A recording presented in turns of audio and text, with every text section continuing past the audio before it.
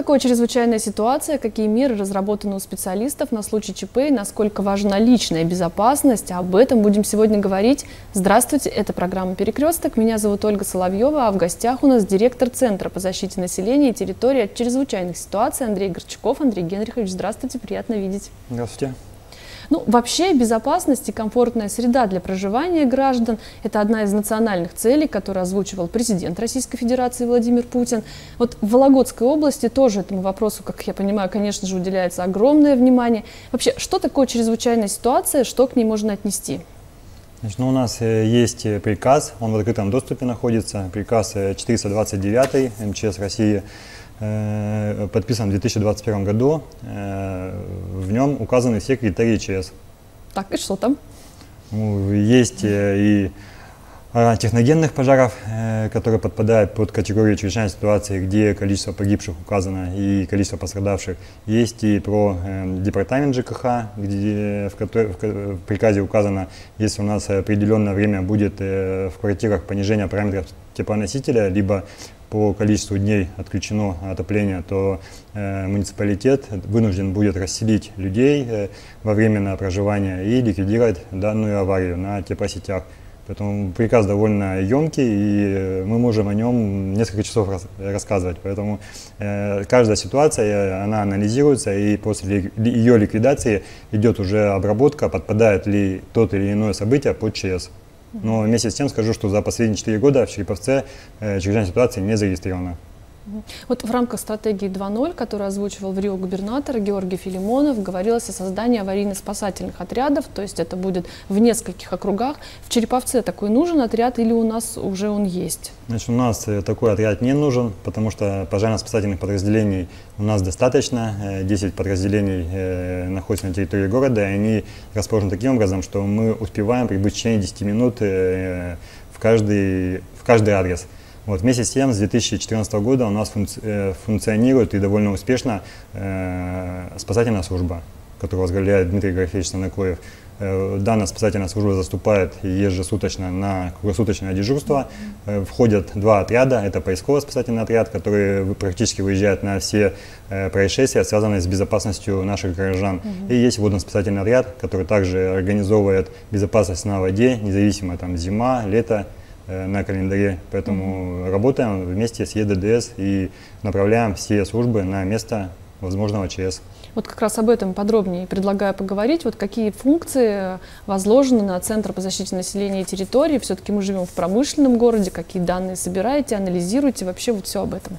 Значит, Центр защиты населения и территории ЧС является органом повседневного управления городской, городского звена Э, единой государственной системы предупреждения ликвидации чрезвычайной ситуации. Поэтому мы реагируем на все звонки, поступающие от населения, поступающие из предприятий, от диспетчерских служб, и также из ситуационного центра губернатора и э, главного управления. Проводим работы по э, ликвидации со всеми службами ДТП, дорожно-транспортных происшествий, по, те, по пожары э, информацию собираем и анализируем, и направляем подразделения к месту вызова э, отключения систем жизнеобеспечения и их последствия. Вот сейчас у нас актуально стоит вопрос по э, ликвидации утечек в индустриальном районе, остается три утечки, и работаем по ликвидации утечек э, в связи с гидроиспытаниями в Зашинском районе. Со следующей недели начнутся испытания э, в Зяровском районе, поэтому э, первоочередная задача подготовить теплотрассу к отопительному сезону и исключить все возможные утечки в зимний период, для того, чтобы у нас люди жили комфортно, как бы и температура в квартирах в зимний период была более 18 градусов. Угу. Это первоочередная задача. Также также э, анализируем падение с высот. У нас в этом году, к сожалению, 20 случаев падения с высот. В том году на сегодняшнее число было 22 случая падения. Ну и 4, 4 случая со смертельным исходом. В прошлом году было 5 со смертельным исходом. Э, данное направление тоже ведем. Э, также потерявшихся людей мониторим и работаем со всеми подразделениями, которые выезжают на поиски и организовывают данное мероприятие. Поэтому ну, все задачи, которые возложены на ЦЗНТ-ЧС и касаемо безопасности, жизнеобеспечения, все выполняем в рамках установленного э, законодательства. А мониторят ли ваши специалисты состояние окружающей среды?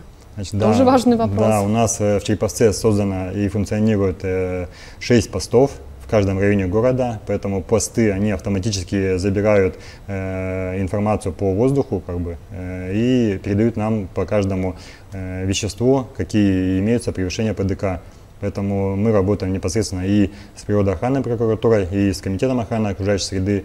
Поэтому каждое вещество, которое э, выброс нарушено и э, допущено нарушение, оно не остается без внимания, и информация направляется согласно инструкции э, в те органы, которые работают по э, привлечению должностных лиц э, и предприятий к ответственности. Вот вы в начале эфира сказали, что чрезвычайных ситуаций много, там классификация есть и разработаны меры по ликвидации, а вот у людей всегда один вопрос. Нам что делать? Как мы узнаем про чрезвычайную ситуацию и нам куда бежать? Значит, ну, у нас, получается, есть городская муниципальная система оповещения населения и территория ЧС, поэтому в случае э, возможной чрезвычайной ситуации и по распоряжению э, мэра Череповца Владимира Евгеньевича Германова мы ее будем задействовать, которая ежегодно два раза в год проверяется осенью и весной. Поэтому ее первоочередную, первоочередное, э, в первоочередном виде будем задействовать, а затем э, направлять смс через сотовых операторов о том, что необходимо предпринять для того, чтобы не допустить повреж травмирование, либо гибель наших горожан. Ну и по федеральным каналам, по нашим муниципальным каналам также будет э, перехват э, эфира и, и информация будет поступать о тех, том алгоритме действий, которые надо э, соблюсти для того, чтобы не попасть в зону возможного поражения. Вот в апреле ваши специалисты обследовали подвалы, и опять же тогда, вот если посмотреть комментарии, у людей возникал вопрос, почему адресов нет в общем доступе, как нам узнать адреса этих помещений, где можно спрятаться в случае ЧП? Значит, у нас получается э, есть 26 э, муниципа- э, городских управ в каждом районе города. Данные управы находятся в штате ЦЗНТ-ЧС, и с этими работниками проведены соответствующие мероприятия для того, чтобы они э, довели э, до горожан ту информацию касаемо безопасности. Вот вместе с тем э, на протяжении последних, э, последнего года у нас э, проверены все подвальные помещения и 578 помещений, они признаны пригодными для размещения наших горожан в случае возможного ЧС. Э, помещения выбраны таким образом, чтобы из каждого жилого дома, либо социально значимого объекта не более 500 метров можно было преодолеть для того, чтобы разместиться в данном, временно разместиться в данном подвальном помещении. Э, есть информационные стенды, они разработаны. Данная работа уже проводится на протяжении последних трех месяцев. И мы эти информационные стенды на сегодняшний день разместили в 212 подъездах, что составляет 35 жилых домов. Для того, чтобы получить данный информационный стенд, необходимо ТСЖ, либо управляющей компании сделать заявку в ЦЗНТЧС на Советский 15, указать адрес э, МКД, э, количество подъездов, и мы под конкретный дом, под конкретных людей э, разработаем в течение буквально там, двух часов данный информационный стенд, закажем его на печать, это все безвозмездно, и затем как бы предоставим для размещения в подъезде. Э, данная работа уже проведена частично и в Заштинском районе 4 права, и э, сам лично как депутат в 10 округе отработал уже несколько домов. Э, если управляющая компания дает такую заявку письменно, то мы, соответственно, в каждом подъезде данную информацию с их, так сказать, помощью размещаем. Поэтому еще раз напоминаю, подавайте заявку, будем отрабатывать по каждому дому, по каждому подъезду. А еще, знаете, какой интересный вопрос был у людей, опять же, по поводу места. Там получается, что совсем не, небольшая площадь, да, выделена на каждого человека, и люди также задавали вопрос, а вот если животное, можно ли его с собой взять, или это не предусматривается, животных придется бросать? Нет, никого не оставим как бы в беде, поэтому и с животными будем пускать, и будем даже пускать тех людей, которые находились в территории Череповца как гости, либо туристы, Поэтому это тоже все как бы учтено, и э, каждое подвальное помещение, оно мало того, что э, проведен анализ, оно еще и по площади как бы намного превышает э, то возможное количество людей, которое будет спускаться с того или иного дома. А если говорить вот по запасам еды, воды, это человеку нужно как-то держать тревожный чемоданчик или что? Вот как действовать в этой ситуации? А то есть, знаете, кто-то ведь начнет собирать борщ переливать в баночку может. У нас подвальные помещения, они же предназначены для временного проживания, э, размещения людей. Поэтому если надо переждать, то я думаю, что в течение там какого-то часа, двух-трех как бы по э, воде будет такая необходимость, то это все будет там довезено. Вместе с тем, с управляющей компанией тоже проходил инструктаж, и мы буквально два месяца назад их собирали в департаменте ЖКХ и еще раз э, проговаривали ту или иную ситуацию, алгоритм действий в случае той или иной возможной чрезвычайной ситуации. Поэтому Центр защиты населения территории э, ЧС открыт для каждого горожанина. Если есть необходимость, приходите, э, принимаем ежесуточно. Вместе с тем у меня официальные часы приема по пятницам. Ну, если человек подойдет и в другой день, никому как бы, не, не отказываю, будет, да? в принципе, и приглашаю mm-hmm. должностных лиц, которые отвечают за тот или иной блок э, в СЗНТ ЧС, и, раз, и прорабатываем как бы, ответ на тот вопрос, который интересует нашего горожанина. Вот для каждого человека его проблема важна, и чрезвычайная ситуация у него своя. Вот с какими звонками э, люди обращаются на телефон вашей единой диспетчерской службы? В штате ЦЗНТЧС есть не только ЕДДС, у нас есть и центр прямо обращения, и городские управы, и курсы гражданской обороны, и отдел ГУ и ЧС, поэтому э, обращаются в основном сейчас, в последнее время по утечкам на теплосетях, по отсутствию горячего водоснабжения, поэтому э, работаем через портал «Мой череповец», и информацию размещаем. Ну и каждое, каждый день у нас не единожды происходит сверка и взаимодействие с Газпром Теплоэнерго города э, по ликвидации всех возможных разрывов и утечек. Ну и также департамент ЖКХ э, задействован в стопроцентном составе на всех возможных утечках. Также принимаем звонки и о, и о пожарах, и о ДТП, и о кошечках, собачках, которые там э, э, где-то там залезли и не могут слезть. Поэтому, ну, вместе с тем хотелось бы обратить внимание о том, что если даже звонит ребенок угу. на 112, либо на 051, то данный звонок тоже мы не игнорируем, а отрабатываем его. Но если звонок поступит ложный, и это будет установлено, то будем вынуждены совместно с полицией возбуждать э, административное дело и привлекать родителей к ответственности. Поэтому угу. хотелось бы напомнить родителям провести данную работу с э, несовершеннолетними и еще раз напомнить о том, что каждый звонок, поступивший на 112, он отрабатывается спецслужбами.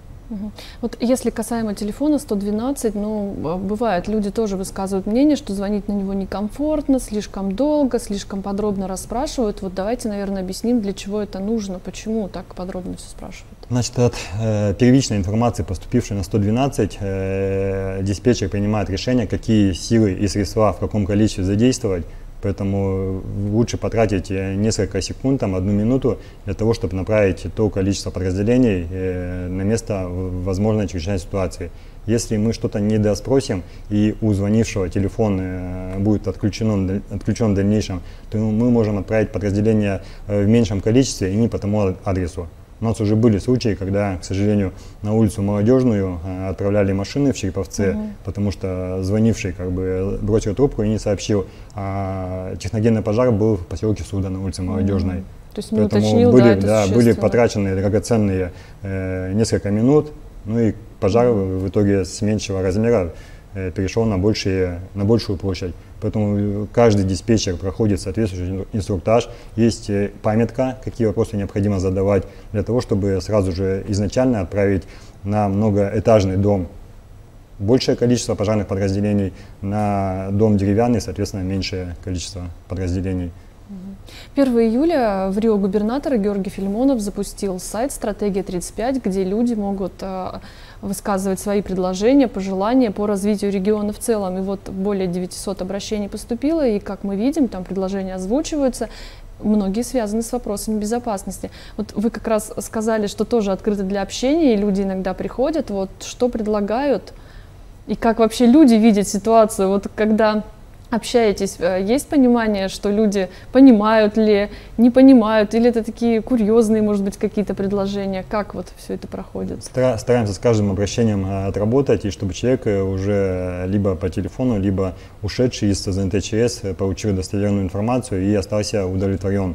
Вместе с тем, касаемо Череповца, то хотелось бы, конечно, обратить внимание на модернизацию муниципальной системы оповещения – потому что в 2023 году, в декабре месяце, мы завершили э, разработку проектно-сметной документации. В этом году мы построим дополнительно э, несколько периферийных пунктов оповещения, но их, конечно, будет недостаточно для того, чтобы нам 100% населения города э, прикрыть в качестве первичного источника информирования. Поэтому, если будет возможность, то будем очень признательны, когда из регионального бюджета будут выделены дополнительные средства на то, чтобы эта работа была завершена в кратчайшие сроки. И таким образом мы на ближайшие 10-12 лет забудем э, о ремонте периферийных пунктов оповещения, которые сегодня уже нуждаются либо в полностью замене, либо в ремонте. Андрей Генрихович, ну вот, а насколько важна личная безопасность? Мы видим происшествия на дороге, фиксируются происшествия на воде, пожары. Вот э, от чего это все происходит? Ну, в большинстве случаев у нас как бы человек является э, виновником э, всех бед, так назовем это. По статистике, касаемо безопасности Череповце, то за 2024 год на сегодняшнее утро у нас произошло в Череповце 132 дорожно-транспортных происшествия. У нас водители, к сожалению, продолжают нарушать правила дорожного движения, скоростной режим, в результате чего 132 человека пострадало. И два человека были э, погибшими к сожалению, один из них несовершеннолетний, но данное ДТП произошло в Черепецком районе, где у нас девочка на мотобайке э, угу. скончалась по пути э, следования в, в больницу. Вот, и по пожарам, то у нас 204 пожара произошло в этом году, 16 человек пострадало, угу. э, которые были, которым была оказана медицинская помощь, либо госпитализированы в дальнейшем, и 10 человек погибло. За 2023 год, то у нас за весь год погибших было всего лишь 6. Угу. Поэтому на протяжении уже Э, шести э, с небольшим месяцев у нас уже количество погибших превышает, э, чем прошлый угу. год. Поэтому обратить внимание на то, что соблюдать необходимые элементарные правила пожарной безопасности и в том числе и проводить беседы с детьми. Угу. По падению с высот я уже сказал 20 падений, 4 со смертельным исходом, одна несовершеннолетняя суицид совершила, два мужчины и одна женщина. Два случая с смертельным исходом на производстве, два случая в быту. По э, происшествиям на воде 9 происшествий, 9 человек было спасено, один погибший э, на территории Чеповца. Вообще смерть человека – это трагедия, гибель для каждой семьи. Угу. Поэтому, конечно, э, необходимо обращать внимание на личную безопасность.